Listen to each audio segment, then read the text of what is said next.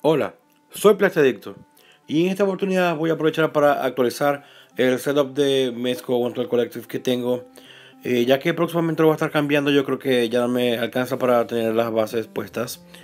Eh, necesito acumular necesito ahorrar espacio y con las bases es un poco más complicado. Igual quería dejar registro de cómo va la colección a final de octubre de 2017 eh, tenemos atrás los, dread, los tres dread que tengo y este es un Batman Custom negro sobre el caballo, eh, luego los Batman regulares que tengo, el PX, el blanco y negro. Yo creo que siguen siendo mis piezas eh, favoritas. Estos Batman son increíbles. Tengo esta cabeza custom acá. Más custom no, mentira. Es de los Mattel que quiero customizar. Quiero hacerle hueco más grande.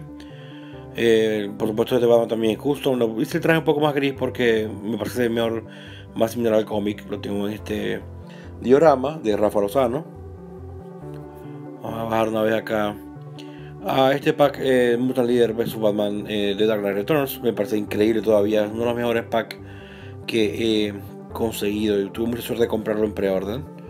Luego tenemos acá mi shelf de DC. Eh, mezclado con DC de BBS. Eh, Space Ghost con su escritorio. Zoom, Flash Barry Allen y Flash Wally West. El Joker en su silla.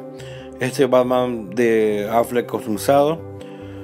El Batman normal de Affleck. El Batman, el Superman de Henry Cavill de Batman vs Superman. Esto creo que lo voy a mover hacia el lado con las otras figuras de Batman vs Superman. Atrás tengo a Green Arrow y Arsenal. Mm, de mis favoritos, voy a ver si lo subo un poco más. Y Shazam. Eh, por acá están los de BBS que comentaba. Acá está el arma de Batman y un Superman. Que quizás estaré pintando de negro dependiendo cómo vaya la película. Vamos a ver qué tal, o si no lo vayan a sacar.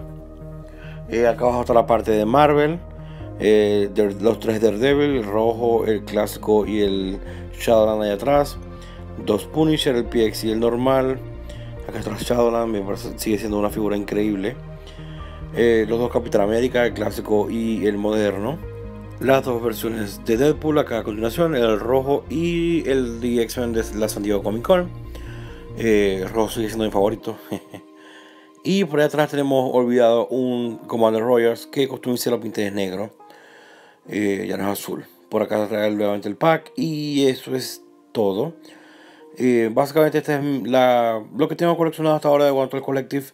Eh, estará apoyado por allí el Superman clásico. Quizás que más saquen este año.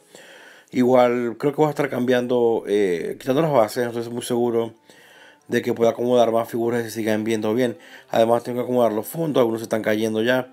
Eh, tengo que dar un poco de cariño a esta repisa. La verdad que eh, Mezco este año eh, y el año pasado sacaron figuras increíbles. Creo que en mi top 10 va a haber varias. No sé si voy a sacar un top 10 de Mezco únicamente o un top 5 de Mezco quizás. Y un top 10 aparte en general sin Mezco porque que, la, la, verdad es que quizás no sea justo. si va a haber la mayoría del top 10 van a ser de Mezco.